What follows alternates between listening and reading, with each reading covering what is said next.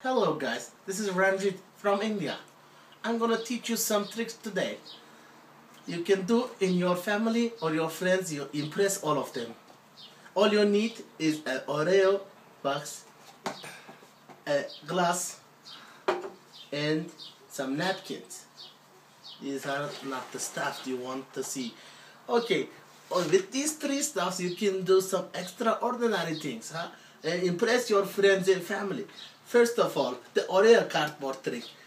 Oreo cardboard trick, you put your napkin away and then you put your Oreo cup on the glass and as you can see, you can see the glass now, huh? Yes, I feel it. And it is disappeared. you see it, there is no glass and you can do it everywhere, you know. And whoop! Here's the glass.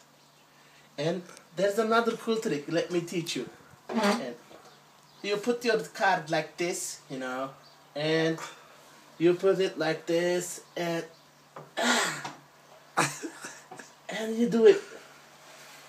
Look at this. This inside there is a glass, you know, and watch this. It's a cool, huh? Wow. There is no glass. Huh? This is a good trick. And let me show you another trick. You know, you have a napkin inside, you know. You put your hand like this and you put your napkin like this, you know, like a magician. Huh? Look, look, look. Look, you put it, oh, and there's the glass you left, huh? There is the glass of the Oreo box, huh? You know. Okay, you can do this at home, but try not to break the glass, huh?